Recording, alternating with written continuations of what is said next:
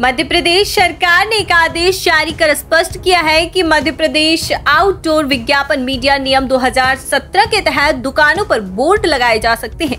लेकिन इन बोर्डों पर दुकान मालिक का नाम प्रदर्शित करने की कोई अनिवार्यता नहीं है।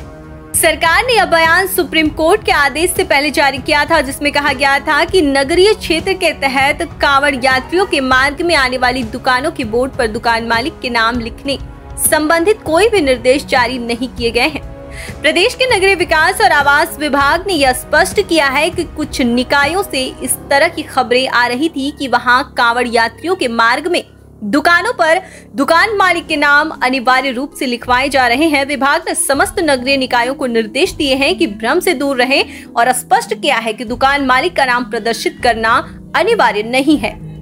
लेकिन गौरतलब है कि उत्तर प्रदेश और उत्तराखंड सरकार ने कांवड़ यात्रा मार्ग पर खाने पीने के सामान का व्यवसाय करने वाले होटल, रेस्टोरेंट, ढाबा रेहड़ी ठेली वालों को साइन बोर्ड लगाकर मालिक का नाम पता और मोबाइल नंबर लिखने का आदेश दिया था, जिसके बाद से मध्य प्रदेश में भी इसकी मांग की जा रही है।